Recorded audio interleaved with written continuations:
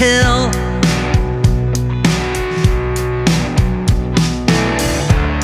And add the half pence to the pence.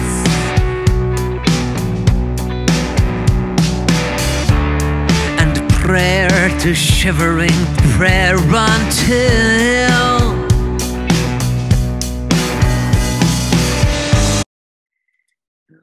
Do you all see that? Yeah, that's great, Myra. That's perfect.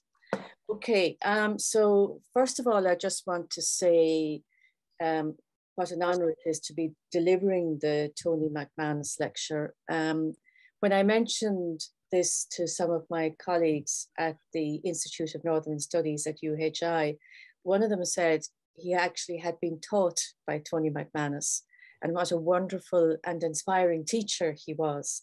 And he said he's only since come to realize all the other activities that Tony was engaged in as well. Um, so clearly he was a, a, man of many talents. Um, and um, for some of this lecture, I'll be drawing um, quite a bit on Tony's book, The Radical Field, which I shall draw attention to later. Um, and to say that, you know, if geopoetics is fairly new to you, I think this would be, it's not an introduction because it's quite a, it's quite a weighty book and quite a complex book, but it's very accessible. Um, so I think if you're looking for a starting point into geopoetics, um, Tony McManus's uh, Radical Field is the one I can best recommend. I have changed the title slightly as one always does when one writes the abstract versus when one actually writes the paper. Um, so I've changed it to Kenneth White and John Moriarty towards a, a green consciousness. Um, and um, this is now the moment of where, yes. Um, Kenneth White, I have known about for quite some time because um, I've been actively involved in the Geopoetic Society for maybe the most of a decade now and found it a very inspiring group. I had one of John Moriarty's books on my bookshelf for years and looked at it about 10 years ago and started it and left it. And then looked at it about 12 months ago and started it and said, wow. And ever since then, I have been reading almost everything John Moriarty has written, and I am almost to the point of obsession with his writing. Um, I think he is so fantastic. Mm-hmm. Um, but when I was preparing for the Tony McManus lecture and thinking about a topic, it struck me that these two men, I don't know whether I call them men or academics or philosophers or poets or intellectual nomads, because they're all those things, have so much in common. It might be nice to, to bring the two together um, and see what I note in common. Um, of course, there are a lot of other things about the two that I don't have time to bring into this talk, given the time frame. But to begin with their life trajectories, um, most of you are very familiar with Kenneth White. He was born in 1936 in Glasgow. He spent his childhood and adolescence on the Ayrshire coast. Uh, not from a very privileged family. His father was a, a railway signalman.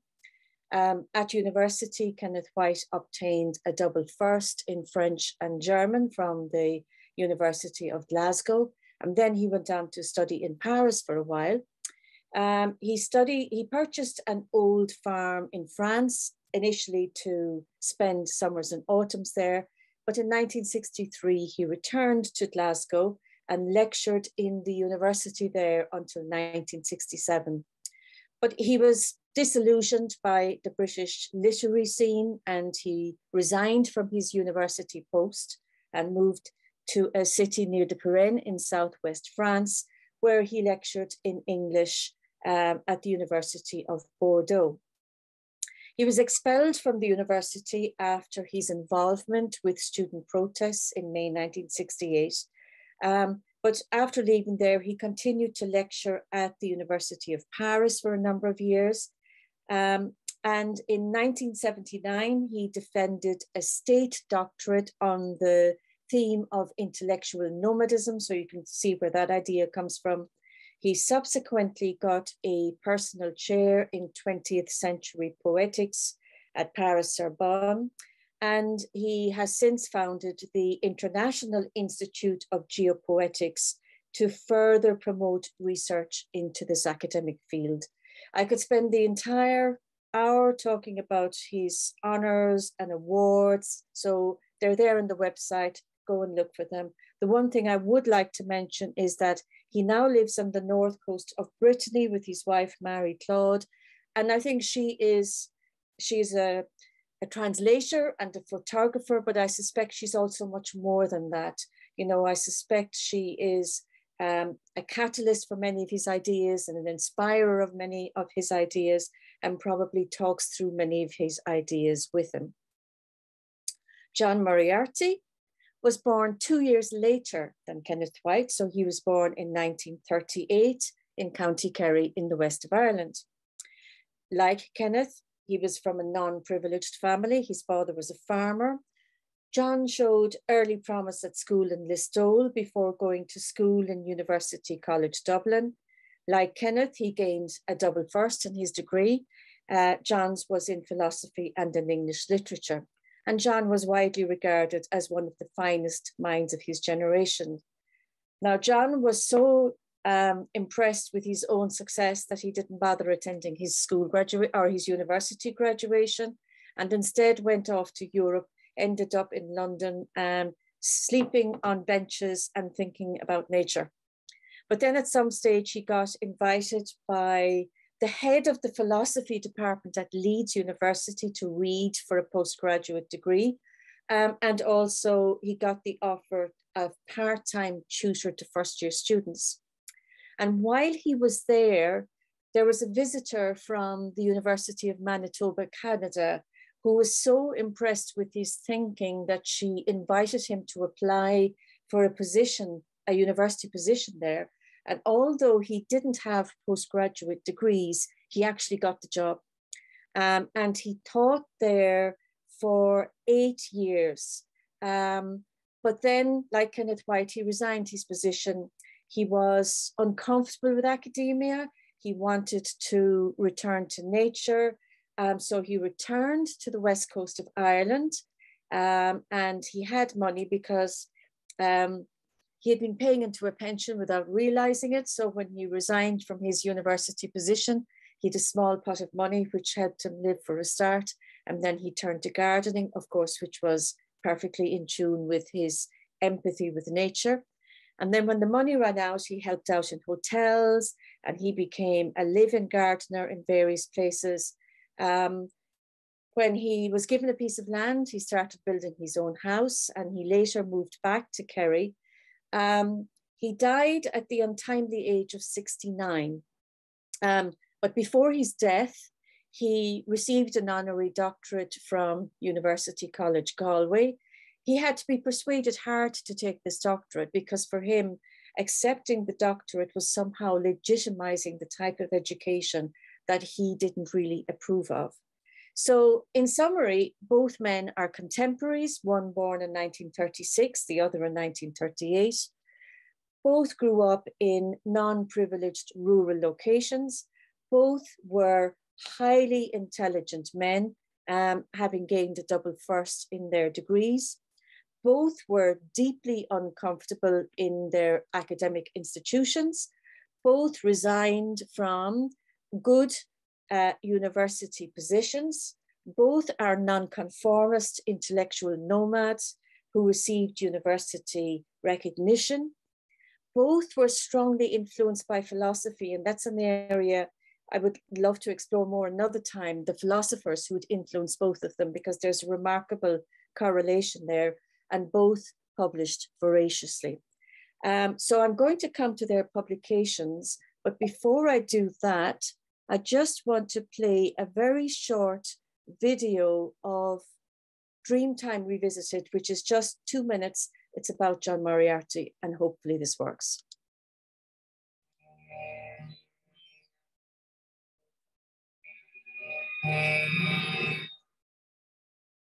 In Ireland, having many simultaneous and sequent identities and living as he does in many ages, Orpheus has many names.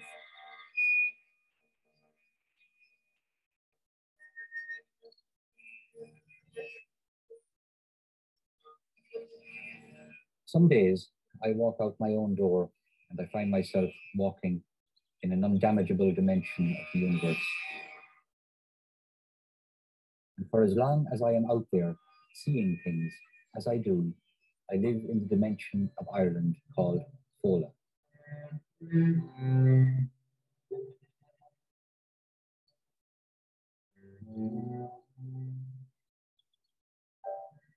And raising my visor on an island, I saw every field, every flower that here lies look. And the wind from the snake bitten ocean's cold. In an old town, completing my dream, I searched for a name no headstone held out. In old meadows, I searched for the face I had dreamed of. For here in that town I was tongue from the throat, I told the old lies, but the night we touched hands, we longed for the woods. And like nightingales there, we were tongue from the hips.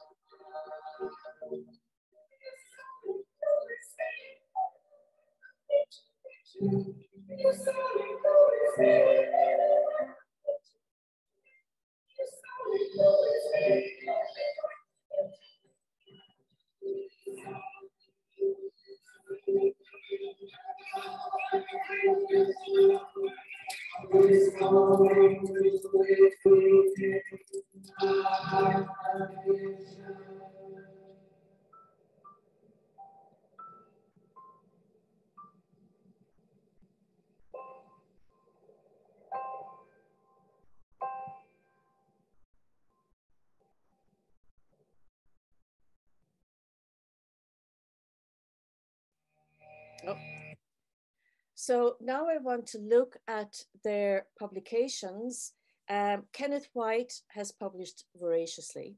Uh, he's launched, he's published a range of poetry anthologies, narratives, and collections of essays in both English and French. I have just a selection up there on the slide, but it's a tiny snapshot. Um, one particular genre of Kenneth White's that I'd like to draw attention to are what are called his way books. And these are prose narrative books which combine mental investigations with geographical explorations of various territories and terrains. Now, the reaction to Kenneth White has been um, contradictory, um, and I'm borrowing a bit from Nori here. Um, some people hail his poetry as groundbreaking and radical, and others kind of dismiss him as a continental celebrity um, and exclude him from the poetry anthologies and from Scotland's literary canon. But the Irish Nobel Prize winner Seamus Heaney said of White's poetry that it was erudite, elemental, big and bold, and a manifestation of the kind of poetry that Hugh MacDiarmid hoped for. In contrast, British Adam Thorpe said of White that he is, sorry, not in contrast, um, an intellectual nomad of genius. But Scottish journalist Ian Bell says, White's work has a, a certain rhetorical force, but it is a windy sort of rhetoric. Poet and environmental activist Gary Snyder remarks, what other poet gives us clarity, emptiness, purity of spirit, and north of the soul, a pathless path? And now I'm going to move on to some of the publications of John Moriarty, um, bearing in mind that John died at the age of 69. Now, John, two weeks before he died from cancer at the age of 69, John Moriarty sent the checked proofs of the second part of his autobiography, Nostos, to Lilliput Press, a very prestigious press in Dublin, who have published most of his writings. And if you're interested in following up John Moriarty, I suggest you go to the website of Lilliput Press. During the last two years of his life, John managed to finish and publish three other books, Invoking Ireland, which was challenging Irish attitudes to their land, history, religion, and culture. Night Journey to Buddh Gaia, a monumental work which builds a vision that confronts our Western Enlightenment assumptions and conceptions, and Serious Sounds, a personal reflection on the Christian Seven Sacraments. Um, John Moriarty has been described by Michael Higgins, not the President Michael Higgins, but a Professor Michael Higgins, um, as an eco poet, keen on drawing on the vast sources of primitive mythologies, ancient narratives, and contemporary insights in science and spirituality to help us redirect humanity towards an evolutionary understanding that takes seriously its obligations to the planet. Like White, Moriarty has divided opinion. Several of his books have won awards. His writing has been described as visionary, but it's also described as dense and difficult and requiring a knowledge of myth. Um, I would like to respond on that point and say that if you approach John's books just to read them, they are heavy going. But if you listen to them and read them aloud, so in other words, if you bring some of your other senses to bear on them, they are much easier to understand. And John also publishes a glossary at the end of each of his books. So when he refers to a myth, the story of the myth is at the back of the glossary. But John Moriarty has been neglected in the Irish literary canon, although now that is changing.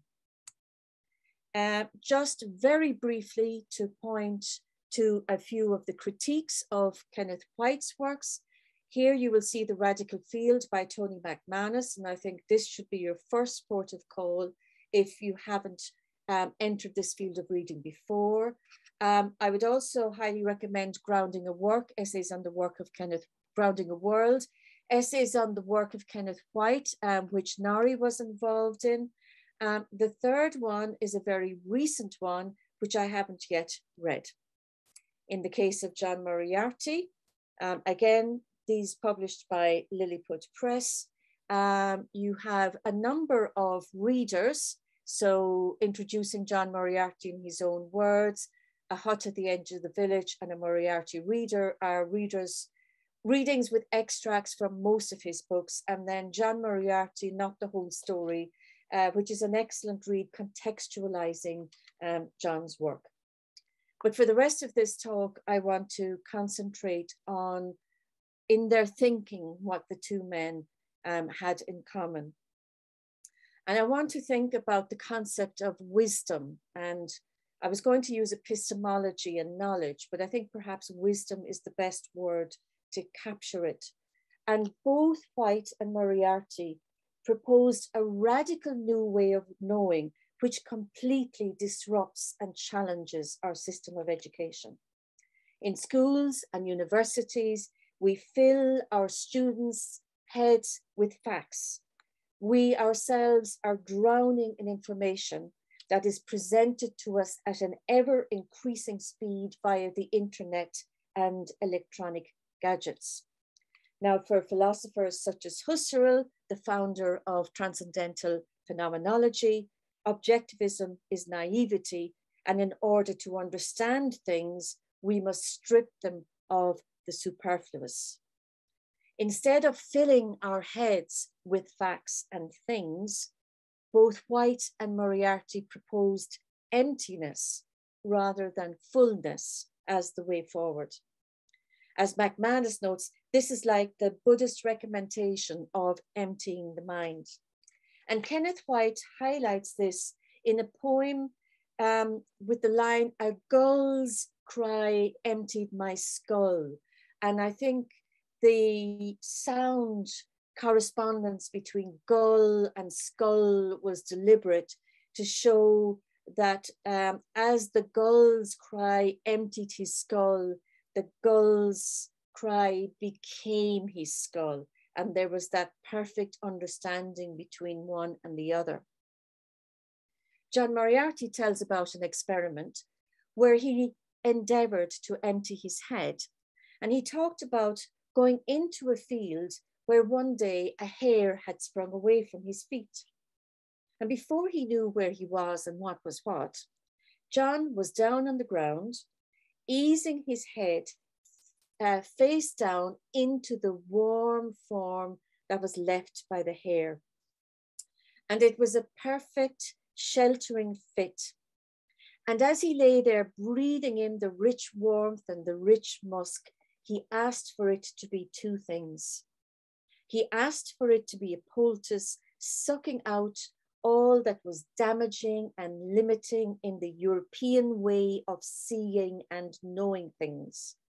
And that done, he asked for it to be a cocoon, bringing a new and blessed mind, a mind of nature, to life itself. So, how do we know? The way of knowing that John and um, Kenneth White advocated uh, was a way of knowing that prioritizes the body, the gut, and the senses rather than the mind. Uh, we must redefine the process of gaining wisdom, emptying ourselves of facts and figures, instead allowing ourselves and our bodies to engage directly with nature. Both Moriarty and White recommend engagement directly with that which you wish to know. White points to Basho, the 17th century Japanese poet, who says, If you want to learn about the pine, go to the pine. If you want to learn about the bamboo, go to the bamboo. And in doing so, you must leave your subjective preconceptions about yourself behind. Otherwise, you are only imposing yourself on the object and you do not actually learn. This is more about experience rather than information. The Westerner who tries to question and gets all wordy about a flower kills it while he's doing so. The thinking process, be it metaphysical, religious, anthropocentric, destroys the phenomena of the world. Basho, when he wants us to understand a flower, looks at it, sees it, and allows his feeling to remain silent, inviting the reader to reach the same feeling by achieving the same perception. John Moriarty makes a similar point about how formal education gets in the way of wisdom. In a story about showing a professor around one of the gardens he was working in, John says, and I quote, I had recently walked through the wood with Professor Westhoff. Delightedly, as we walked this way and that, he filled page after page after page of his notebook with the names of what quite clearly to him were botanical wonders, revelations, almost not just familiar specimens. We stood there for a long time, inhaling its almost overwhelming musk at a badger earth Approaching a patch of old broken weeds, we provoked three wild ducks into a conflagration of loud calling. We walked past a roofless ruin, its stones not yet completely covered in pelts of lichen and moss, so giving us a rough idea of when it might have been abandoned. We doubled back, crisscrossing the whole place all over again, and then we re-emerged and I was disappointed, thinking the professor had walked through the wood, but at no point had he walked into it, as for example, in the same way that Nan Shepherd walked into the mountain. Having an educated, expert eye, the professor met his own knowledge, but he didn't meet the wood. This process of knowing, advocated by White and Moriarty, is a complete reversal and disruption of the way we acquire knowledge in formal systems of education. More significantly, it is a rejection of our indigenous relationship with nature. Kenneth White draws attention to our ancient narratives shared between Ireland and Scotland, which displayed a strong naturalistic consciousness. The Cailleach also known as the earth goddess, sometimes appeared in the guise of a bird, perhaps a crow, a skull, a cormorant, or a heron. The relationship between human and animal was fluid. White points out that in key Celtic lore surrounding the figure of Fionn and the Fianna, his sons Oscar and Oisin have names related to the deer. In a different story, the story of Art, King of Tara, John Moriarty notes a similar phenomenon. The name Art means bear. Moriarty retells the story of Art, or bear, who knows he was about to be killed by a pretender to the throne, lay with the daughter of a famous druid. The child that was ensued was subsequently stolen by a wolf, who suckled the child along with her own wolf cubs. Later, the child was rescued from the wolf and was restored to his rightful position as King of Tara. The name of this boy, child, was Cormac, the son of bear and human, and suckled by a wolf. So boy, bear, and wolf are foster brothers, a relationship we could not envision today. A relationship that has been destroyed by Cartesian dualism. Modernity, as White sees it, began with Cartesian dualism and for both White and Moriarty, the paradigm with modernity is no longer creature and creature as it was in the Middle Ages, nor is it the bombastic humanism of the Renaissance. It is now subject object. And with this subject object goes a project. And the project is for the human to become the master and possessor of nature.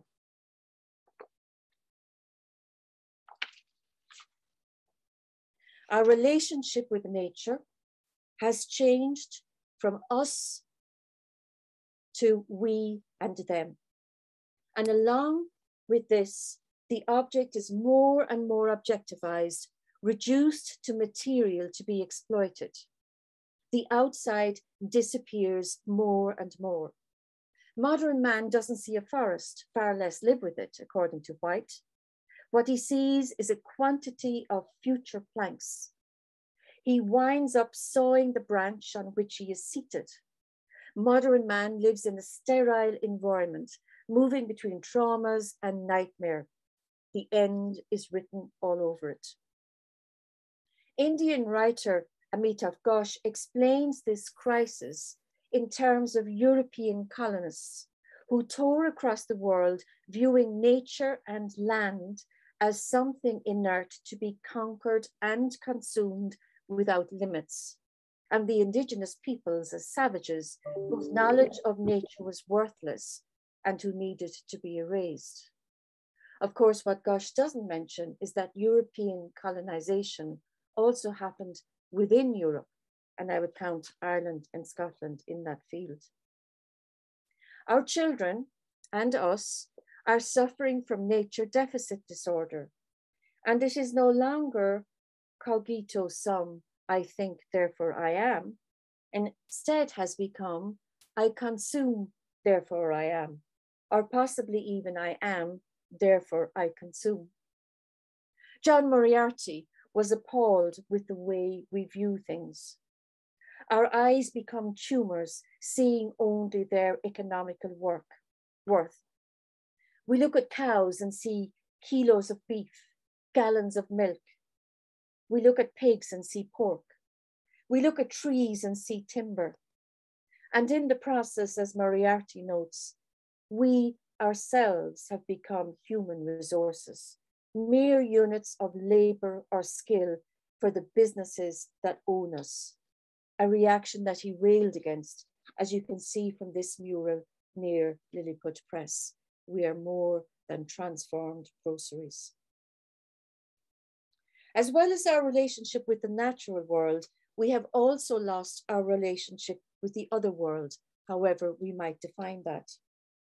White points to the shamanic attributes of Fionn the Fianna, And he also describes some of his own shamanic experiences as a child.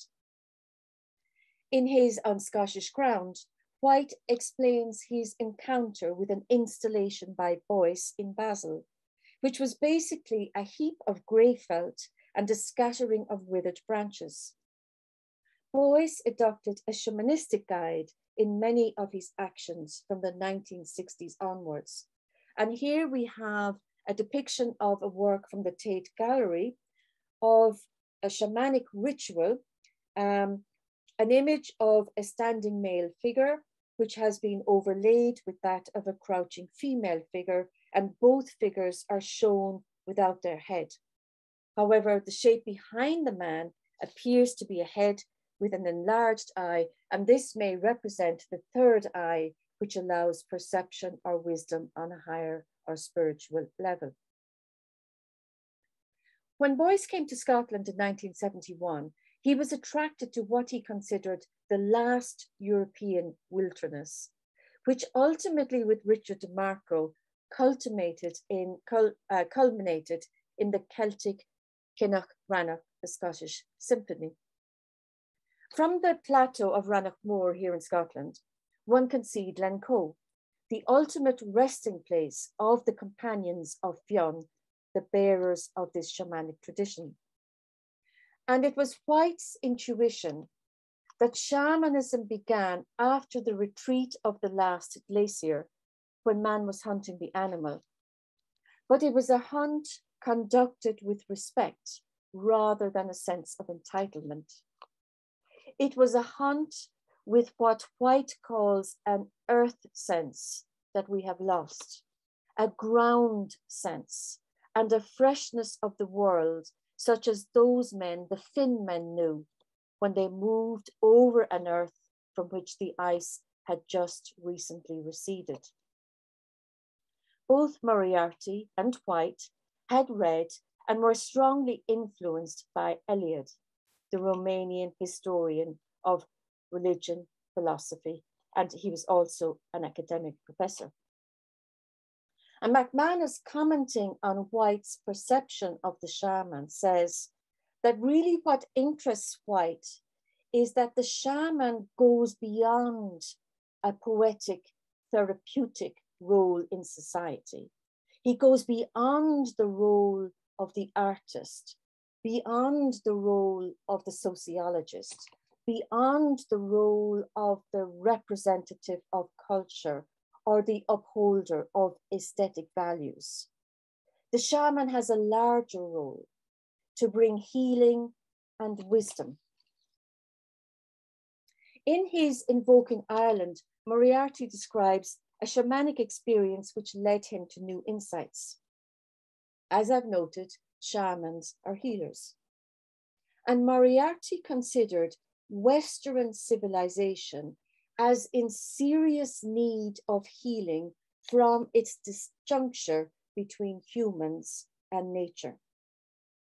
In Moriarty's view, we need to take that shamanic journey back to our indigenous ways of thinking before it was impacted by Christianity, rationality, and modernity.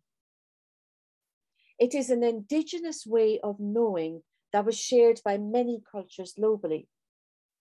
White sees a connection between Celtic naturalism, Eskimo vision, Siberian shamanism, and Amerindian religion, and Japanese Shinto continued to Zen.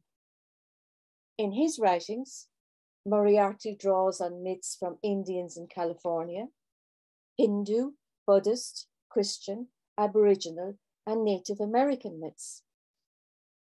In his Invoking Ireland, which is my favorite of John's books, Moriarty would claim, as did his iconic hero William Blake before him, that we took a wrong turn in the 17th and 18th century with Newton and Descartes, and then, according to Moriarty, in the 19th century with Darwin. And it's not that these eminent thinkers were wrong, but that we abandoned too much in our adoption of rationalism, materialism, and modern reductivism, to the point where our logical and empirical mind, according to Moriarty, is no longer a window, but a blind. Being Homo sapiens sapiens has become an addiction, a habit we will need to break if we are to survive our catastrophic impact on the planet. Moriarty diagnosed the Earth with the Homo sapiens sapiens virus. The human race is currently in denial and has been for over a century and a half with regard to its long-term survival. This denial we can no longer afford. The world is HSS positive. Moriarty is critical of Irish people in the 19th century who started to walk away decisively from a native language that was a way of seeing and knowing. And in the 20th century, we started to walk away from a religion that contained many of its ideas and practices as a form of folk religion. And in our ambition, we have moved from rites or ITES that related us to time and eternity and moved to rights within a body politic. Could it be, he asked, that humans have moved too far too fast. Moriarty proposed a return to our indigenous narratives, which he personally was able to reconcile with Christianity. Moriarty offers an alternative vision where all things live ecumenically with all things, man with nature, magic, and the divine. This vision is very much in keeping with White's premise that man is inseparably in nature and that knowledge and experience are multifaceted. I think that White would agree with Moriarty's prescription that we need to comb the Cartesian dualism out of our hair. Moriarty's invocation of Ireland exhibits a green consciousness that Alastair McIntosh noted in what's regarded as the first poem written in the Irish language. The poem, which features in the writings of both White and Moriarty, is from Celtic mythology. The poet is Amergin Glúingel, who was chief bard of the Milesians, who invaded the Gaels in revenge for the killing of their great grand uncle by the three kings of the resident fairy folk, the Tuatha De Danann. Ultimately, there was a battle between the Tuatha De Danann and the Milesians. But prior to the battle, the fairy folk tried to raise a magical storm to keep the Milesians from entering Ireland. But Amergin sang an invocation calling on the spirit of Ireland. And this is a poem which interconnects all the elements of the universe. And there is no hierarchization of the human at the top. So I'm going to play this. It's just two and a half minutes.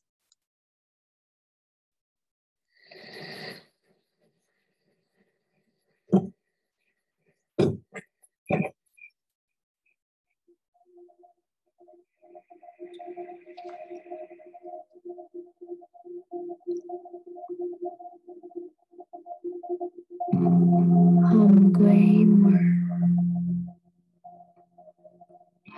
Hum Ton Trahan Hum Fu Mara Hum Dom Shoknavin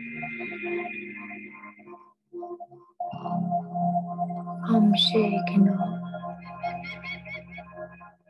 Hum Der Grania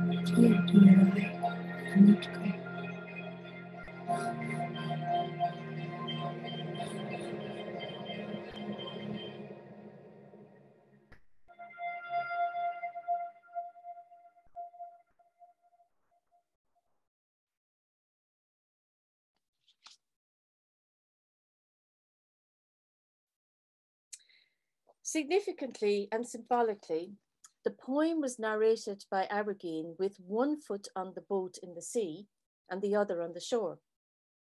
White talks about the seaboard or the literal shore to be a particularly significant space. He says, There we are close to the beginnings of life. We cannot but be aware there of the primordial rhythms, tidals, meteorological. In that space, too, we have one foot, as it were, in humanity, that is inhabited, inscribed space, and the other on the non human cosmos, chaos, cosmos, chaosmos. And I think it is vitally important to keep that dialogue alive. Maybe that's the motto for the Straveg on water.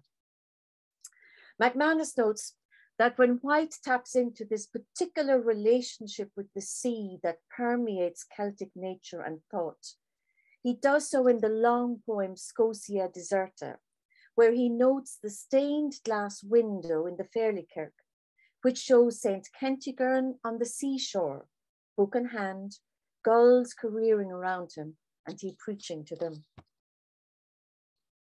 Alastair McIntosh interprets Amergin's poems as evidence of a long-standing green spiritual consciousness in the Gaelic speaking world. He suggests that this green consciousness pours out from all the Celtic creative forms. Like a visual representation of the Celtic music itself, Celtic art is based on circularity. Knotwork and vinework patterns interlaced on ancient stones and in later sacred books graphically illustrate the interconnectedness of all things. This green consciousness is at the heart of White's geopoetics, which I've borrowed here from Laurie's slide, which says that we must perceive the human in relation to the earth to develop that sense of loss, which has been the spur for White's world. That is the geo in the geopoetics. The poetics covers that realization derived from the nomadizing, when the human being hits upon the genuine perception of reality, the desire to express that perception is part of it. That green consciousness is also at the heart of John Moriarty's vision from the earth. He says, we are not separate from the elements or the biosphere around us. We are one with our fellow creatures and with our habitats too. The earth does not only environ us, we are it. It is in us and we in it. No longer can we assert dominion over animals. Were we to damage, say, a river or a forest, we would only, after all, be damaging ourselves. Moriarty's and White's ideas on culture, mythology, and ecology run as strong countercultures to received scientific, commercial, and business wisdoms. Moriarty's counsel was one of walking on the surface of the earth without hurting it. We need what American poet Wallace Stevenson calls for a new intelligence, an intelligence that would lead us away from cruelly emptying the seas and burning forests and poisoning lakes and rivers, an intelligence that would protect languages and traditional cultural heritage also. If there were time, there would be a lot more to be explored in relation to these two men. If my audience had been philosophers, it would have been interesting to explore common philosophical influences. It would also be interesting to explore the poetry which deeply moved them both and which they both wrote so well. But as a first step today, I wanted to draw attention to Moriarty's and White's invocations for the way we behave with the earth, which is pretty much the same as current activists for climate change are calling for. Both Moriarty and White ask for a vision of humans as part of, but not dominating nature. And that option imposes an unbearable morality, a seemingly impossible responsibility of care. That is, that we are the universe. The universe is us. And as Moriarty wrote, matter is mind in hibernation. Climate change is a scientific issue, but it is also a cultural one, which requires a major readjustment of the way we look at ourselves and see our place in it. A major readjustment of the way we know the world and value the world. If we take this interconnectedness seriously, that was advocated by both White, and Moriarty, then we will know that in damaging the earth, we are damaging ourselves. Good, Margaret, thank you.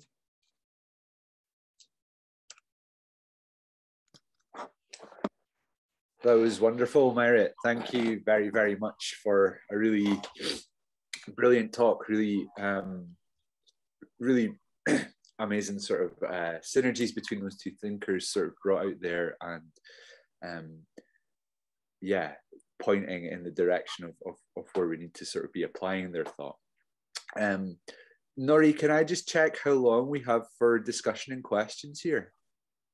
Well, we've got uh, a deadline was 4.30, so we've got more than an hour if we want it. But... great. Well, in which case, that means uh, if if if it's all right for me still to chair and sort of uh, direct questions to Mairead, uh, I'm gonna be a, a, a proper um, kind of authoritarian here and seize control because I would like to ask a question first.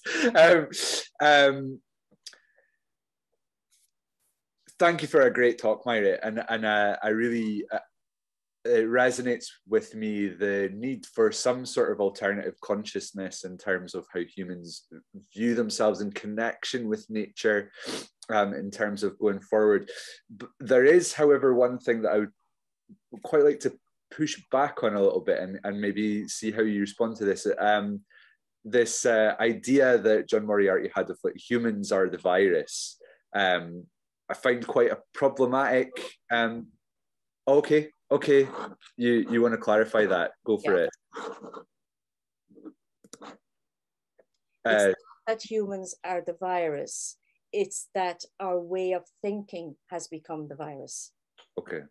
Uh, not humans themselves, because humans are part of nature. Um, yeah. And uh, he would see that as part of the beauty of nature.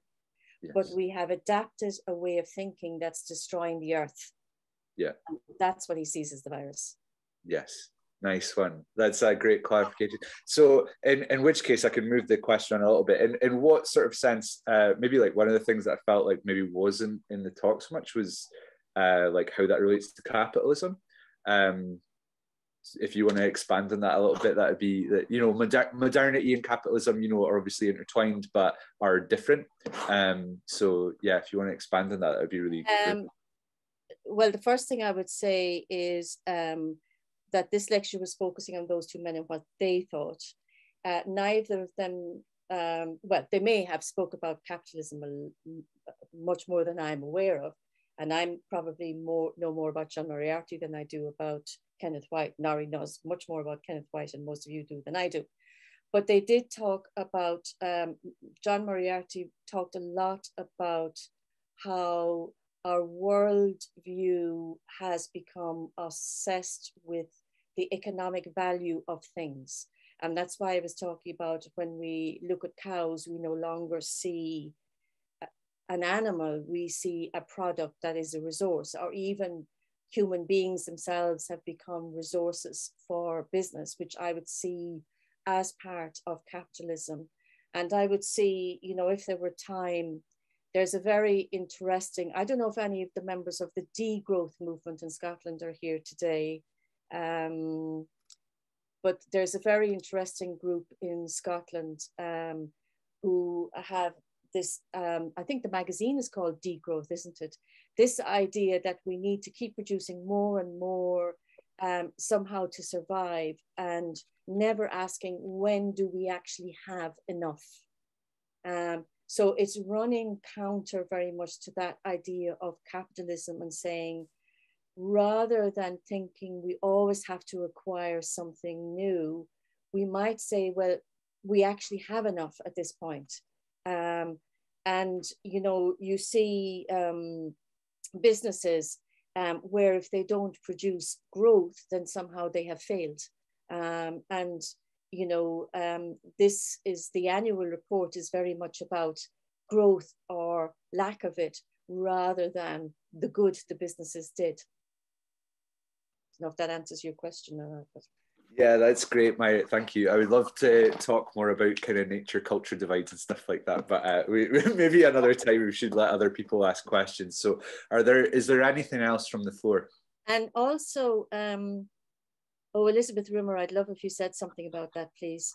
Um, I, I would regard this session as more a conversation rather than an question answer session, partly because it takes the pressure off me, but also you are so rich in your knowledge of these things that I would gain from that.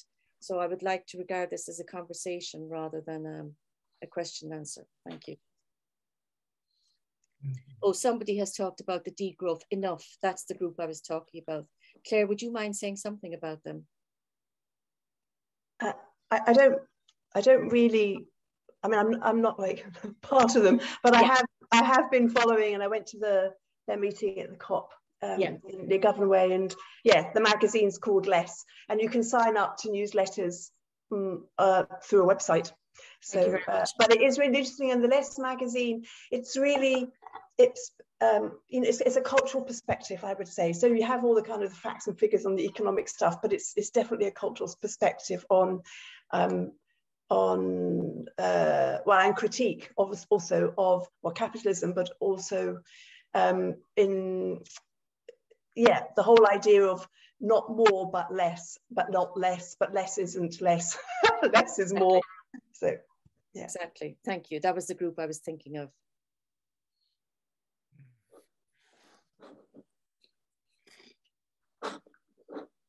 Any other comments? Elizabeth, would you mind saying something about Thomas Berry? You're on mute.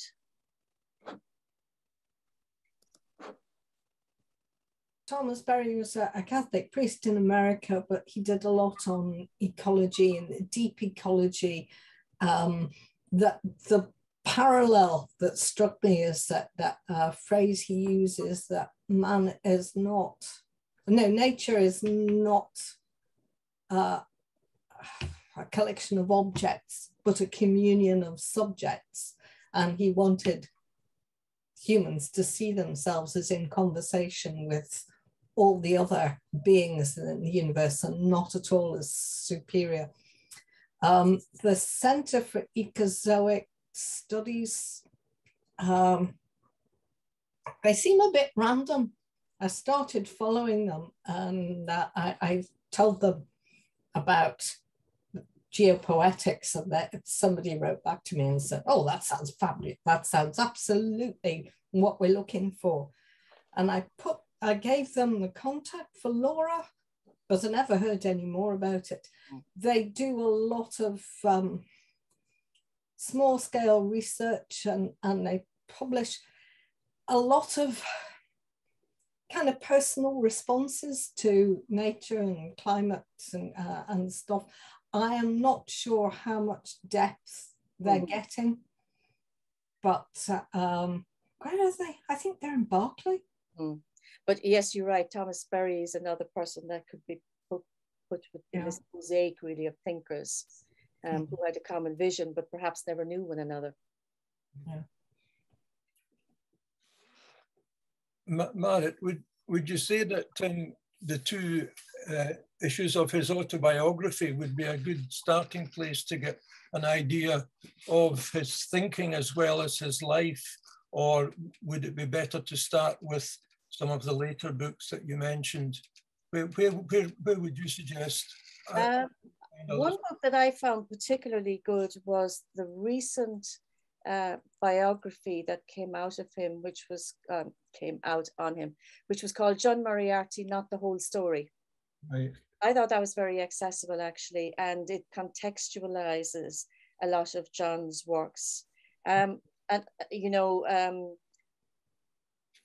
all of the readers are good ways of getting to know his work directly, but I think it's good to have a bit of background on John um, before actually reading John himself. So that's that would be my recommendation. John Moriarty, not the whole story. Um, the other thing I would say is that I know um, there's lots of YouTubes of John on the website um, because uh, the publishers have very generously allowed those to be there. And if you listen to John, he's fantastic. I mean, it's a pity that John's books, that someone didn't write them down as he told them, because when you listen to him, he's quite clear. And um, so I think perhaps listening to John on YouTube's. Um, and I would also say that there's a new audiobook coming out from Lilliput Press in June um, about John. And I think that would be a very good starting point as well. I think the publishers have um, put a link um, to John in, in, in, in the, to John's books in, in the conversation. And William Eddy, do you want to say something? Yes, Brendan O'Donoghue's is very good. Do you want to say something about that?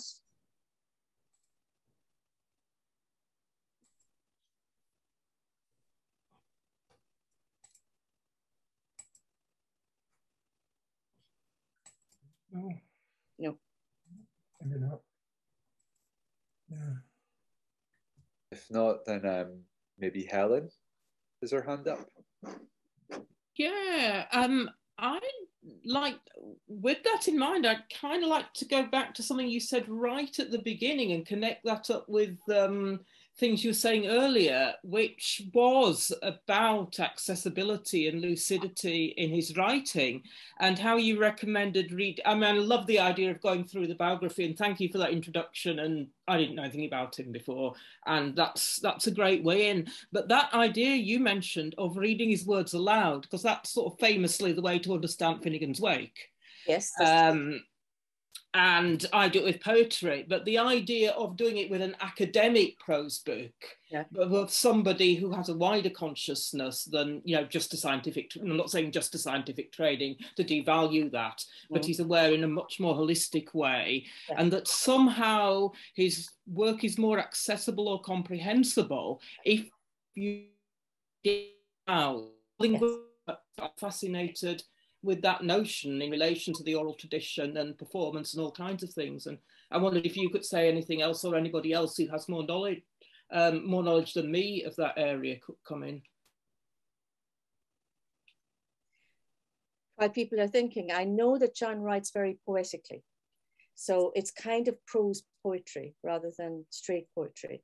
Um, and I think um, that uh, when you you know he can be quite repetitive as well with some words which can work very well in some poetry but perhaps not in prose. So i think his choice of words is poetic rather than prose but it's in prose form. And that's why i think if you if you you know, the people who say John's work is dense are perhaps really falling foul of exactly the kind of thing he was saying. You're reading it but you rational eyes instead of reading it with your ears. Um, and I think that's what, what you need to do with, with John. I don't know, and it's the oral tradition as well. Mm-hmm.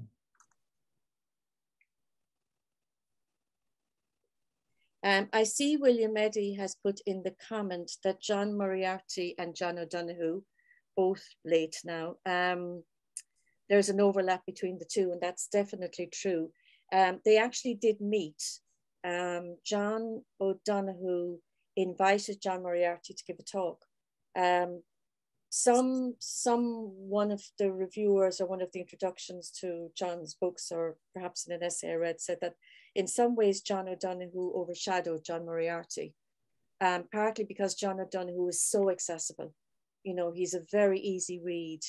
Uh, he's beautiful if you if you like. I I very much like John O'Donohue. I think it's a it's a beautiful read. Whereas Moriarty is more work.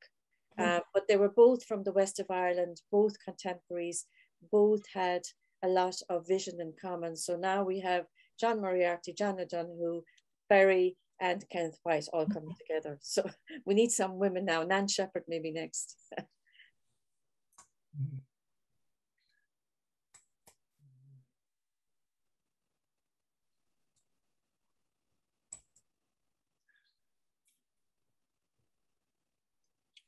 Can I ask you, Margaret, about um, Tim Robinson out. Uh, oh yes. In uh, who wrote about the Aran Islands and uh, Connemara. And, yes. he died at the beginning of the uh, of the COVID pandemic uh, when he'd moved to London. But um, he, Tony McManus, brought him over That's to right. Edinburgh to give a, a lecture or, or more um, right at the beginning of the geopoetics movement. And I, I visited Tim and, and, and his wife um, at Roundstone in um, just at the, in Connemara. And um, he was having these uh, uh, Roundstone conversations with small groups of people who were visiting him. Mm. I wondered if, if um, I, Mike, Mike Scott, the Waterboys, visited him as well, but he found that Tim was was quite anti um, the spiritualism of, of W.B. Yeats. Yes. And the conversation didn't go very well from that point, he told me. So I wonder if how you might compare Robinson's approach to uh, to the world and to places on the edge and, and life on, on, on islands and in remote places with the, um, the more spiritual thinkers like O'Donohue and, and Moriarty. Yeah, um, the first thing I would say is that Robinson knew Moriarty. Right. And as far as I'm aware, it was at Robinson's invitation that Moriarty wrote his autobiography. Um, that Moriarty didn't really think, you know, why would I write an autobiography? Why would anybody be interested? It was, it was Tim Robinson actually got him to to write that. Um, I think, um, I think there's quite a difference actually between Robinson and the likes of John O'Donohue and um, um, John Moriarty. And the difference is perhaps that there is, um, it's very hard to describe it, but there is a sense, if I say a, a, sense of spirit, of course there's a sense of spirit in Robinson, but maybe there's a slight sense of spiritual in Moriarty and O'Donohue. Um, and even as I'm saying that, I'm thinking, no, no, that's not quite right. Um, I know that we'll say um, there is a Christian spectrum, and John O'Donohue was very much, even though John O'Donohue fell out with the Catholic Church um, and resigned his priesthood because um, he really couldn't reconcile the Catholic Church with his beliefs. And John Moriarty at one stage did think about becoming a, a, a monk or a priest, but he was actually drawing so many spiritual people in his talks, they told him not to because he was doing a much better job for the church than he would um, if he were actually a priest. Um, so there's more, I suppose there's more a Catholicism or a spiritualism about uh, John O'Donohue and John Moriarty than, and less so about Robinson. But when I say Catholicism, it's definitely not Roman Catholicism. It is Celtic Catholicism or Celtic pagan Catholicism, if that makes sense. So it's a, it's more a folk religion rather than an organized religion. Um, I think too that um, perhaps um, Tim Robinson was very concerned with place names and place identity that John that uh, Moriarty wasn't, whereas perhaps Moriarty was more about narratives and mythology and going back to our ancient ways of thinking than Tim Robinson was. But there's certainly a package that go together. Um, another name I would mention in this context is Manchán Magan, um, who I would see in the same vein as drawing on, and who actually um, launched one of John, John's readers lately. But Manchán Magan, if you don't know him, M A G A N, um, he's written the book 32 Words for Fields in Irish, um, but he also writes a lot of newspaper columns, you know, about the myth of language and the magic of language um, and narrative and landscape and all of that. Um, and they're all, I see, you know, along a spectrum of, I think it's a geopoetic spectrum in a way, just perhaps not in the name of geopoetics. But I mean, if you ask me, was John Moriarty a geopoet? I'd say yes, but he didn't know it. you know? um, so. Yeah, that's often the reaction of, of many, uh, particularly vi visual artists who come across geopoetics. They, they often say, yeah, of course, that's what I've been doing for years. I didn't know it was geopoetics, but it's a very common uh, reaction. And uh, I, I, think it's, it's very true that, uh, that folk, when they, when they come across concept of geopoetics, they immediately, they, when they go into it a little bit, they, they recognize it and, and for their own artistic or scientific practice. I think that's uh, mm. There's lots of interesting comments in the chat. Um, there's um, William Eddy, who's a lot of interesting things to say. Um, he says uh, Tim Robinson was quite scathing of O'Donohue and accused him of. Do you want to tell us about that, William, or not? I don't know if Bill's. Or is Bill okay? Yeah, uh, can, can you hear me? Yes, we can. I, I met um, Robinson a few years ago in Connemara, and um, he immediately dismissed John O'Donohue as of no consequence in comparison to Moriarty. And I was very, I was very disappointed actually in, in Robinson said. Um, as, as I said in my note, he did eventually concede uh, John O'Donohue did some good in getting the conservation moving in the Burren. Um, mm. But uh, he, had, he had nothing really positive to say about John O'Donohue. Um, and I, I, wanted actually to ask Tim Robinson about John O'Donohue, but uh, I got nowhere with him at all. Yeah, that's an interesting comment. And it's interesting that he compared Moriarty and O'Donohue as well, I think. That's interesting for me. Mm-hmm. Mm-hmm. Yeah.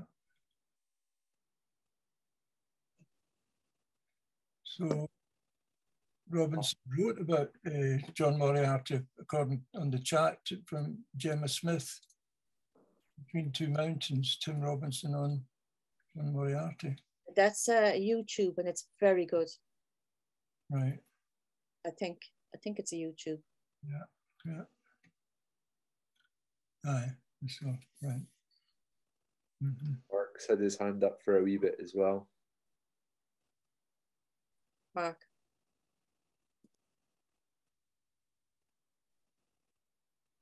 Uh, you're still muted, Mark. I was probably Norrie did it remotely.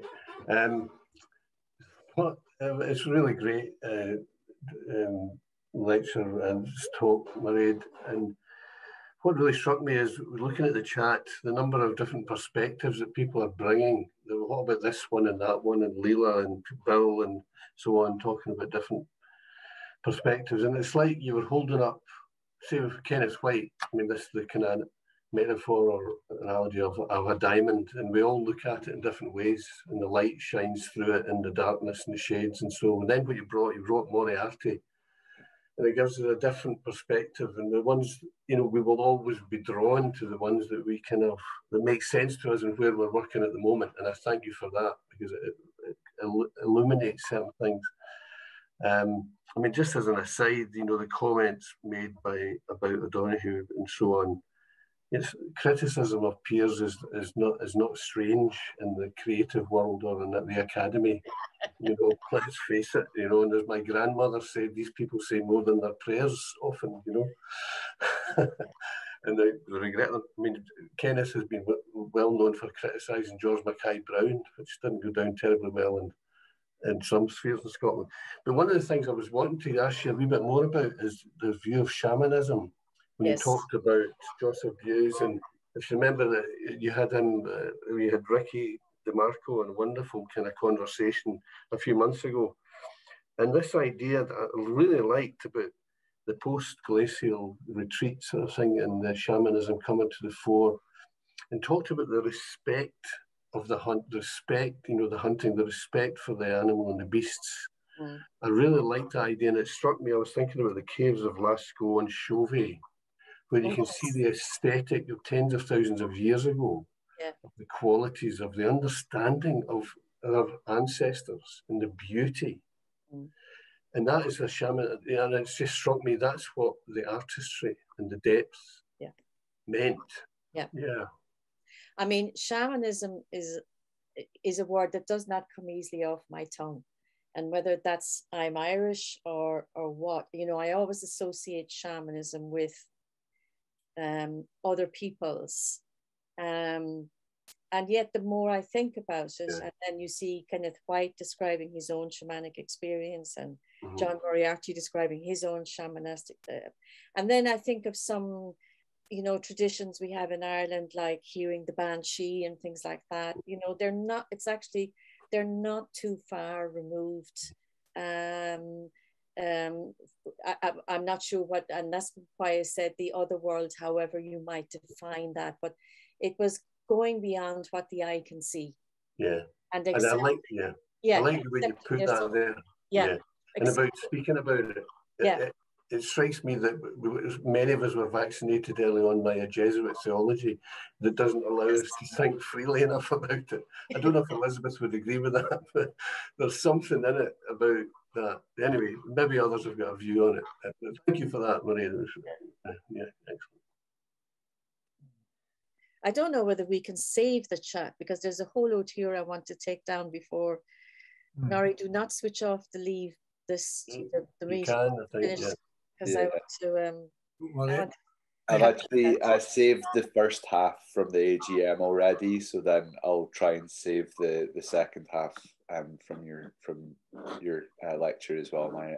Thank you.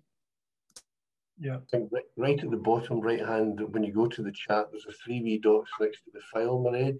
Yeah. And you just click on the three wee dots and it says save chat and bing. Yeah. Okay. Should be there, yeah and and I'll I'll send out the chat, and uh, once it's up on the uh, the lecture, certainly uh, on and send everyone who registered the link to these. That's what we've done before, so um, can have a. I mean, it's very rich chat. I must say, there's so many references there that uh, need to follow up on. Which is a great a tribute to your lecture, I think, Mairead, that so many people are, are chatting and making comparisons and, and references to uh, other thinkers and poets and writers. I, I, mean, I think it's more a tribute to Moriarty and White, really, in their thinking, but also what struck me when I was reading Moriarty and I, I had read White first, and you know, when you start putting them together, you can see that there's actually a lot of people thinking in parallel who don't necessarily know each other, but they're thinking in parallel. And we need more of this kind of thoughts and more of, of bringing this together. Yeah, yeah. Indeed, indeed. Um, Yeah. Michael Michael Tucker has at least one or more classic books about shamanism, and he yeah. in the early days of geopoetics he he came up to Scotland and and gave I think at Tony's invitation he gave uh, one or more talks. I'm trying to remember, I, th I, think it might have been up in. Oh, it was at the, he came to the um, the 2003 uh, event at St Andrews University, mm. uh, and he he took he gave a talk there about shamanism, and of course White was there, and uh, and that was an interesting event. The, the Grounding a World is the book, uh, which if you join, you get a free copy of, is, is uh, has a whole number of um, very good essays in it about White's work. But one of the in most interesting things to me was that, and it relates to what you said at the beginning about the mixed reaction, the contradictory reaction uh, from uh, other Scottish poets and uh, and essayists to White's work. It was almost a mean-spirited approach that, that first greeted him when he came to, when his work began to be published again in 1989 in mm. Scotland by mainstream publishing at the time and then by Birlinn. And the interesting thing was that none of the well-known poets and uh, at, at St Andrews University came at all to that three-day conference event. So none of the people who wanted to be the, uh, the, inheritors of, of uh, in poetry of Edwin Morgan and, and uh, Norman MacCaig the rest, you know, um, people like Don Paterson and uh, even Kathleen Jamie, none of them turned up, and yet they were all working in in at University of St Andrews. So it's it's there's quite a strong anti-white uh, attitude amongst established poets in Scotland, and I think that I think Helen made the point earlier that uh, you know there's a lot of uh, backbiting goes on and uh, niggling in the poetry world, but I think it's also true in the academic world, as as, as uh, some of us know. Um, don't know how I got onto that, but uh, it seemed relevant at the time. Woody, you want to say something?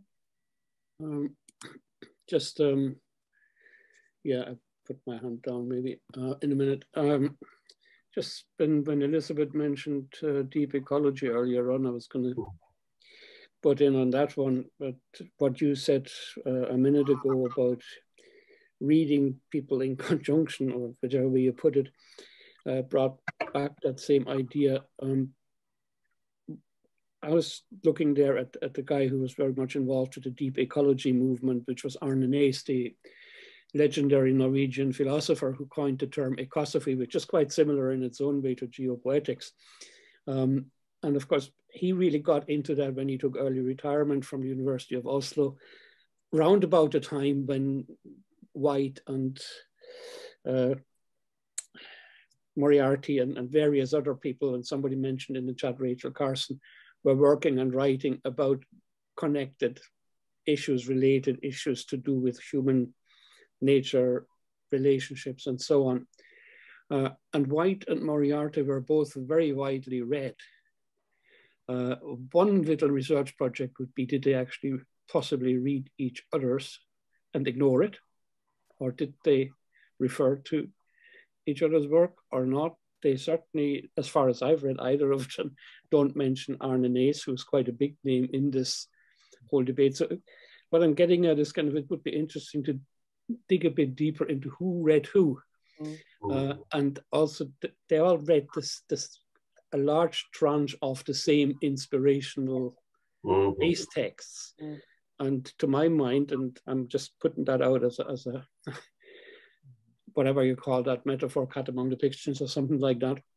Uh, when Norrie talked about the way that, that, that the establishment in poetry ignored mm-hmm. white, to my mind, that might just have something to do with the fact that he makes no bones about the fact that one of his chief influences was Heidegger, who is a persona non grata in intellectual, self respecting circles for all the wrong and some of the right reasons. So there's not a research project yet, possibly. Yep. Sorry, Uli, didn't didn't catch that name. Heidegger. Heidegger. Heidegger. So, yeah. Heidegger. Yeah.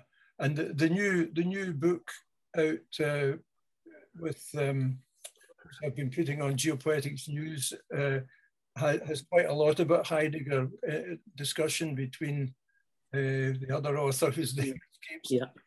And Malpas and again, Uli. Jeff Malpas, Jeff Malpas and Kenneth White. Yeah. There's quite a lot of philosophy in that in that uh, exchange, uh, and uh, yeah. Uh, yeah, I was going to say for people who haven't read much of Kenneth White, the Geopoetics website is a good place to find them. And I think you're offering a special deal on his latest book at the moment, and isn't this Centra? Am yeah. I right? Fund four fundamental faiths, yeah. what it's called? Yeah. It's uh, a 30% off uh, deal. And uh, in fact, you can read a chunk, a big chunk of uh, an extract from that book on, on my website. I wasn't able to put it on the geopoetics one, but it's there, it's there on mine and there's probably about 30 odd pages of it, you know, the kind of thing you, you get on some, you know, look inside type of thing. So before you buy it, you could, you could try out uh, some of that. And um, I think that to get to Tony McManus's book, uh, The Radical Field, I think the, the last remaining copies are with Nanon. And if Nanon's okay with it, I'll, I'll put her email address on the chat so that you know where you can get it, because I don't have spare copies and neither, I don't think you would get it on um, from any bookshop now. Um, so we'll give you that link if you want to follow up. Uh, Nanon looks like she's maybe got something to say about that. Uh, you'll need to unmute yourself, Nanon. Yeah. Yeah, we could we can't hear you, Nanon. You'll need to unmute your microphone. Mm.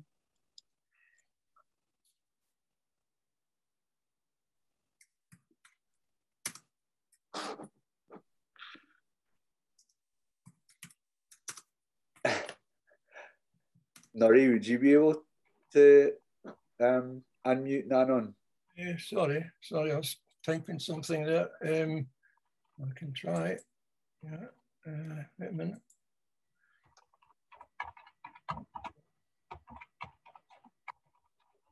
I can't see. No, no, no, maybe it's on the next page. Oh yeah, Oh, there she is. Nanon, you've unmuted yourself. You can speak now. myself. yeah. okay. So, uh, sorry. So the question was. Sorry, are you okay with putting your email address on for folk to? Yes, yes, I'm certainly okay to to have also uh, Tony's book uh, on on uh, added on to the website. Yeah. Yeah. I've got plenty of copies. Yeah. yeah. I'll, I'll do that in a minute. Yep. Um, Alistair Kelly in the chat is talking about Gregory Bateson and his daughter Nora. I'd love some more feedback on that if Alistair is still with us and doesn't mind speaking. Mm -hmm.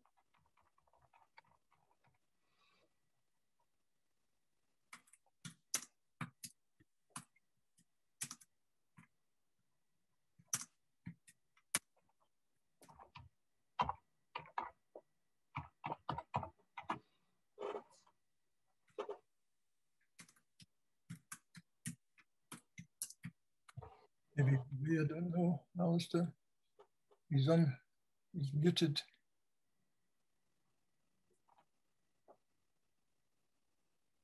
I just asked him to unmute.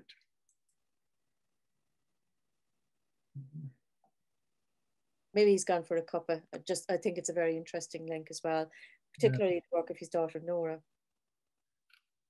Yeah, Kenneth White has referred to quite a lot of uh, Gregory Bateson's writings. That's true. His work. Uh, I've never be, been able to follow up Bateson's work, but he, he certainly sees him as a, a significant thinker and, and writer. Um, and uh, yeah, that so that's another connection when we're looking at all the, the different. Uh, it's almost like uh, the roots of a tree, you know. um, all, all, these different writers, all around the same area, the same field. Mm. Yeah. Um, yeah. Where was you think people are thinking about things? When you spoke at the beginning, about the concept of emptiness, and you mentioned Basho and Matsuo Basho and, and, and others, um, I think that's a very good uh, lead into the the conversation that we're going to have at the end of March with Alan Spence. Okay. We've, we've titled it Eastern Paths, um, mm. and it's really about the the East how Eastern thinking has been influenced has influenced uh, Alan Spence, who I, I, certainly consider one of Scotland's finest writers, um, and thankfully still with us. Uh, but he um, he told me some time ago that he was put onto Eastern uh, Buddhism, particularly by uh, Tom McGrath, who had a very colourful history with the International Times and and then came to Scotland and, and was a major uh, theatre director and playwright. Uh, so Tom McGrath was very influential uh, on Alan Spence and also uh, Sri Chin, Chinmoy, uh, and of course, Alan Spence is probably poetically is best known for several haiku books that he's written, including uh, Glasgow Zen, I think was his first one originally, and it was reprinted later, mm. So we're going to be exploring, he and I are going to chat further about um, Eastern thinking and how it has influenced Alan Spence's work. And of course, uh, it's certainly influenced uh, Kenneth White's work. Mm. What you're saying also, uh, John Moriarty. Yes, definitely. Yeah. Definitely. So that's that's interesting. So that's a connection between this talk and the next one. Yes, yes, and I, I hadn't expected that there would be that connection, but there it is. There it is. It's on the 24th Thursday, the 24th of March. It's in the, the AGM papers that we sent out, uh, and it's at five o'clock. Uh, so I think that will be very interesting because, of course, Alan Spence has written two novels that have been published set in Japan. One about Tom, Thomas Glover, the um, who is the uh, sort of Scottish merchant who had a very big influence in opening up Japan in the 19th century to, to Western ways. And also, I think it's Hakuin, the, the Zen poet. He has a, a, a, novel about him. And he's got another, another novel that he's finished and he's about to get published, he hopes, uh, again set in Japan. So there's a lot of Eastern uh, thinking and practice in Alan Spence's work. Mm. And, uh, and I mean, I must, I must say, you know, for me, it's very much a journey, and and what I presented today is something I'm working on right now. But it has been involved by my involvement. It has been inspired by my involvement with the G Poetics, really, because it's such a rich field, and the members are so uh, creative and so um, knowledgeable. I hate using the word knowledgeable because it's the wrong word, but so familiar with hmm. um, different types of thinking and expressing, etc. Um, that anybody who here who isn't a member of geopoetics, I think, should consider becoming one because hmm. um, there's so much to be learned from the group. Oh, that's a that's a fine tribute. Thank you very much, Barrett. Um, True. Yeah, it's. Uh, it's certainly beginning to take off, I think, in a way that it hasn't in the past. One of the things I'm working on, and I, I got a, an award from Creative Scotland to help finances, is my own um, uh, creative non-fiction book. uh, living on an island, expressing the earth, which is really about my involvement in geopoetics over the years. So I think one of the, the things that has been missing in, in Scotland certainly is more writing about geopoetics and, and publishing in books. So it would be great if some of the folk here, you know, were inspired uh, by your lecture to uh, to write more about your take on geopoetics. Um, and it's one. It's been a, an ambition of the Scottish Centre to, uh, to, to have more books about geopoetics out there, and I'm hoping to do that in in the coming year. Um, if I can just cut down on some of the admin that I've been doing. so, uh, and that should work in with the film as well because the similar, uh, so similar themes, if not, you know, different approaches, obviously. Yes, I mean, I think the different ways of expressing are very important. Yeah. You know, music, artwork, poetry, um, songs. It's yeah. Just see what there's a lot more here.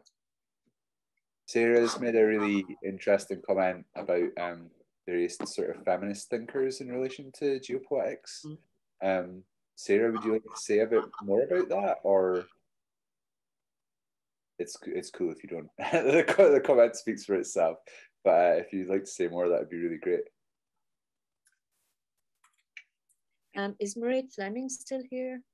I, I don't mind. Um, yeah, and um, I call you. Yeah, Sarah. Yes. Sorry, no, you can. No, Sarah, please. Well, no, I mean, um, I mean, anybody my kind of age um, would know, any woman would know what women, you know, since 68, going through to the 80s and all the different feminist ways of um, taking hold of thinking in some way or another, which broadly they never really have had a chance to, have they? Um, and I think women thinkers, I would, you know, particularly recommend those books, particularly perhaps Earth Muse.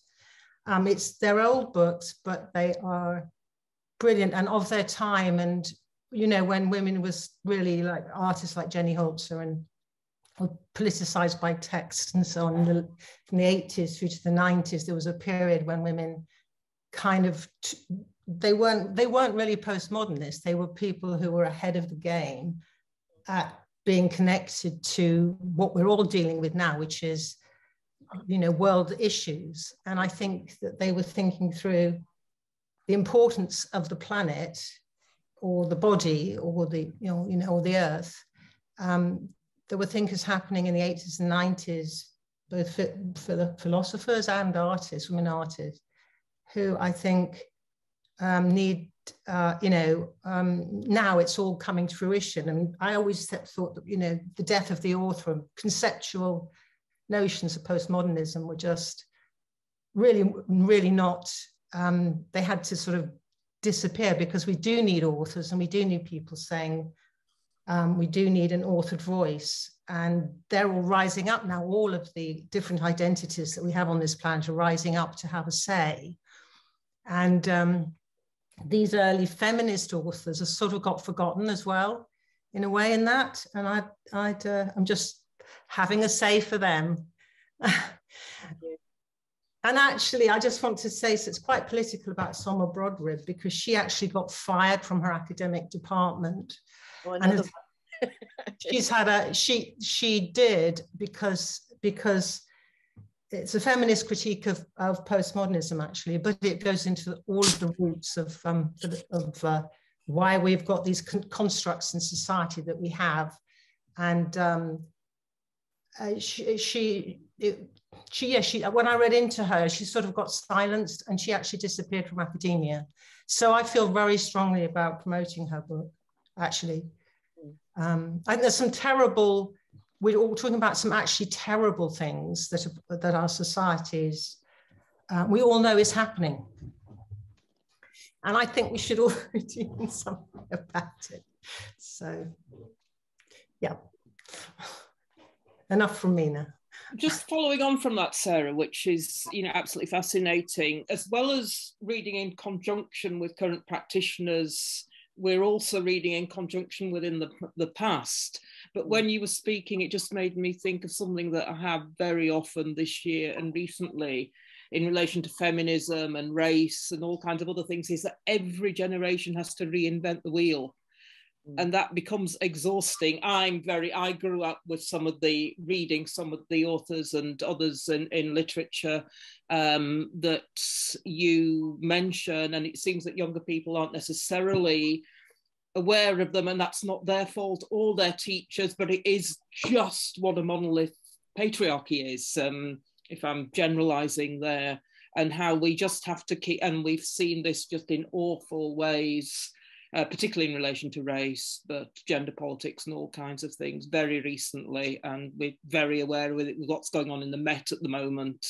Um, and I want to be more hopeful than that, but in in conjunction with that is a is a sadness really and a kind of grief. Um, um, and that there is also a long tradition of green politics in writing. I think Pat mentioned in the chat John Clare a while back, and there, we can, you know, we go back to the Romantics and beyond that, who had a consciousness about this, but not the same vocabularies that we have.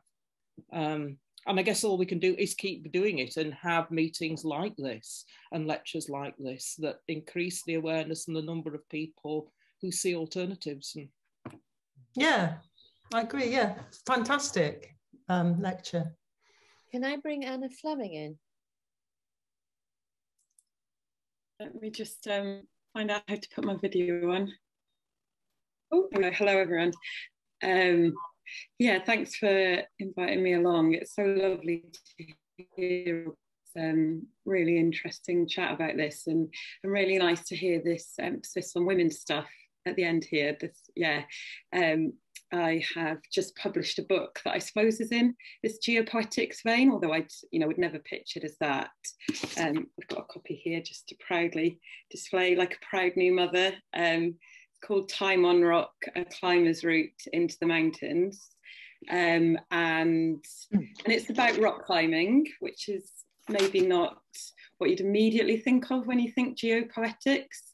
Um, but I was very inspired by a lot of the names we've heard here today in terms of Tim Robinson and Nan Shepherd. And, and in writing this book, you know, I really wanted to tell a very different story of, of mountains and climbing and, and relationship to rock and place and self. Um, and yeah, and it's interesting. So it's been published by Canongate, so it's very much in the mainstream and in the media at the moment. So it's quite, yeah, interesting seeing how that's going down, and, and the reviews are lovely it's only been out a month and, and they've all been great. Um, and one of the big things I've seen, the big trend is, is just comparing the book to Nan Shepherd, which obviously I'm immensely flattered about because she's such an amazing writer. Um, but it does also make me think that there needs to be more work done around women and, and geopoetics. If, you know, the only, like the big point of comparison that I get is Nan Shepherd, that yeah, suggests to me that there just isn't enough of those women's stories and books out there. Um, is is my reflection on that. Anna, would you put a link to the book or to the launch maybe in the chat, please? Sure. Yeah, I'll be launching it in um, in Edinburgh in Toppings on the 4th of March. So I'll put a wee link in the chat now. I think it almost is a reflection of the, sorry to keep coming in, but these eyes, things are sparking off as, as we're going along here, but it's almost a reflection of the discussion we had in our AGM where the, of the lack of women members on our committee, our council uh, body, and we've begun to uh, address that today. We now have four women uh, on going to be on the, the council for the coming year, which is big, which is real progress. Um, but I think it's also true of, I would say, of Kenneth White's work that most of the thinkers and writers that he refers to in his work are men. And it's something that he's been um, criticized for in the past and in the present, presumably. Um, of course, there are sort of historical reasons for that um, in terms of uh, just the access to publishing books and so on. But three of the, the women that I'm going to be uh, at least trying to how would I say, I'm going to be writing about in this uh, geopoetics book is um, Joan Eardley, who I think her work uh, very much reflects uh, geopoetics in, in the visual arts. Uh, Rachel Carson, who I'm particularly interested in her uh, writings on the sea. Uh, she, before Silent Spring, she, she, she wrote and published three, three books related to the, to the sea. Um, and again, she's someone that you don't hear as much of nowadays as you should do. Um, and of course, Nan Shepherd is the other, uh, the other person. So I think there is work to be done to actually uh, uncover the connections between lots of uh, women artists and indeed scientists and thinkers and geopoetics. So there's another open field for anyone who, who's uh, interested and who would like to take these uh, connections further. And also perhaps a special issue on Stravaig at some point. Yeah. And yeah. geopoetics, yeah. Yeah, good idea. Down the line. Yeah.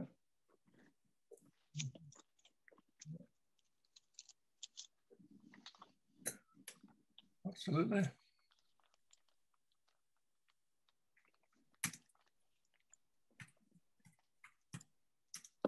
Mairead, I had uh, a quick question to ask as well. You talked about um, John's book Invoking Ireland.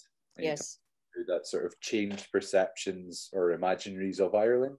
Yes. Um, I just wondered what what perceptions of Ireland did it change and what did it sort of like try and replace it with if it tried to replace it with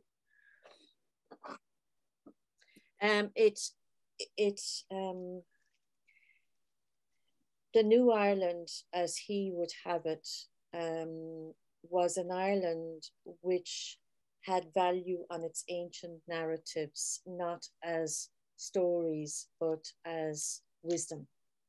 So, for example, he takes a lot of the Celtic narratives and he reinterprets them with an ecological message. Um, so, like a very tiny example is the story of art I took, you know, where you had uh, boy and wolf and whatever it was, foster brothers. Um, so, this idea of recreating the perception of the world that the the Ireland had lost um, with the so uh, he also thought, for example, it could be very involved in in in linking with Eastern places and Hindu places and things like that. But I think the main the crux of it was really changing, and this was for everywhere really. But he just focused on Ireland, but changing the way we think about our place in the universe. And that if we can change that, everything else would follow. So, like, it wasn't a denial of science or any of that, but that that alone is not going to work. And we need to change the way people think about ourselves in the universe. So that was the new Ireland. Thanks. Okay.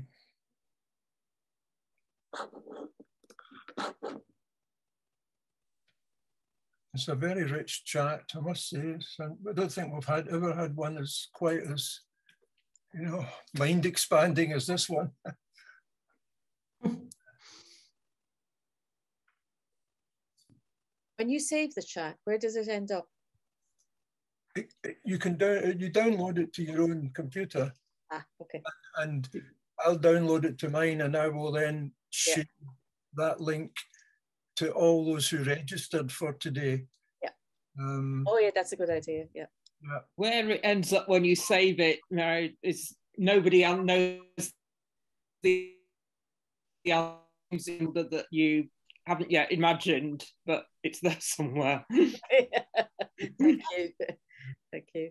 Save chat, it then says um, show in Finder. Yeah. Well, it doesn't mine, or it might say should so if you click show in Finder, then you'll have it it like open in a window. Because yeah, you're right, Helen. It kind of buttons it away in some obscure folder. it usually stays on desktop, I find. I mean, it may depend on whether you're using a Mac or a PC. It stays on the desktop, but if I then close it without saving it somewhere where I know I can never find it again. So yeah. copy it into a work file. But yeah, if Norrie's sending it round, that's the yeah. Easiest thing. Take, you know, a few days or a week at the most, but uh, because I usually will be some other text in it as well as the chat, but the, the chat will come to everyone as well. Uh, so don't worry that if you haven't had a chance to note, I haven't had a chance to note everything down either, but it's all there. And Callum, if you save it as well, and several of us are saving, Patrick, Pat, if you could save it too, then we shouldn't, uh, we should be okay. We should be fine Yeah. it's well worth saving, definitely, and sharing. Yeah. Okay. Well, I don't know about you, Callum. I, I feel we've just about exhausted the. Yeah, I was just about to ask you, Norrie. you think we're there? Yeah. It's been it's been a wonderful turnout. We've, we've still got 46, 45 people here, and right through your lecture, uh, we had about 59 married. So I think that that's, that's despite the two matches. uh, yeah, despite the problems with Zoom that I always get into. I'm sorry about that. um, yeah. So, but th those folk who weren't able to will who weren't able to get in will still be able to view the the recording at least of the lecture and the discussion, which has been really uh, very very worth watching again, I would suggest. Um, Callum, uh, before you do, I'd like to thank, ask everyone to thank Mairead for a wonderful lecture and, and a very full uh, discussion, conversation afterwards. So could yeah. we join in thanking Mairead? Thank you. Excellent. Thank you. I would say that more than proud, more than proud, Mairead. Um, and you, you've, you've given us so many things to follow up here uh, from, from today that uh, I hope some of us will do that. I'm sure some will. Um, so thankfully, there's going to be a wee bit of a rest now, for, certainly for me, in terms of events. The next thing I think is the one with Alan Spence on the 24th of March. And uh, uh, the same sort of uh, set up five five o'clock on a Thursday, uh, and uh, that should be well worth uh, attending and uh, looking in on. We can continue some of the, these points of conversation there. Uh, but Callum, do you want to say anything further? Uh, no, not really. I don't really have anything to add apart from just to echo um, what you said in terms of thanks to Mairead in particular for for her lecture today. Um, and yeah, you said everything about kind of future events that sort of need to happen and stuff like that. Um, I'll save the chat, uh, so I'll stay on to the end with with you, Norrie, whilst everybody signs out, and make sure it's saved and make sure it gets circulated. So, um, yeah, and thanks everybody as well for for their contributions. Actually, um, there's uh, these discussions aren't stimulating unless people participate. So, so uh, thank you all very much for that. Um, so, and we'll see you at the next yeah. event. If anyone wants to join the Scottish Centre for Geopoetics and they haven't already, there's um, there's two ways you can do it. One is on our website, uh, www.geopoetics.org.uk, and the other one is, uh, but you can still contribute to the, the film funding. Uh, and if you do that, uh, if you pay £10, then you get a year's free membership and the book Growing a World. And, you know, if you give 20, then you get uh, two. So two, two years of free membership. So it's, uh, there's, there's certainly different ways you can join us if you, if you haven't already done so. Uh, it's a growing movement, I would say, pleased to say. Uh, so thank you everyone for attending today and for, as Callum has said, for contributing so well to uh, today's lecture and discussion and indeed contributing to our AGM, which I think has made it one of our most successful AGMs that I can recall. So thanks everyone again for being here. we'll see okay, bye.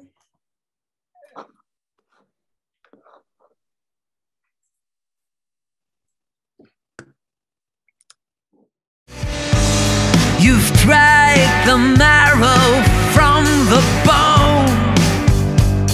For men were born to pray and save. Pray and save.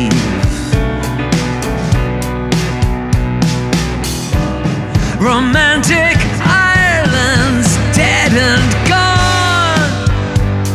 It's with O'Leary in the grave in the grave.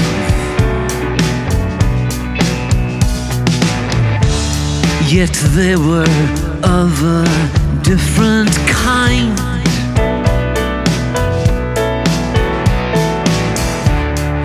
Those names that stilled your childish play.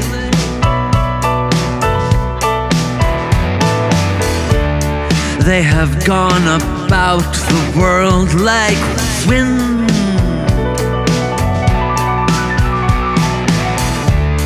But little time had fate to pray.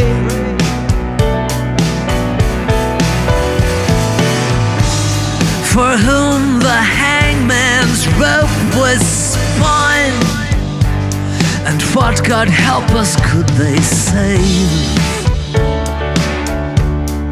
could they save?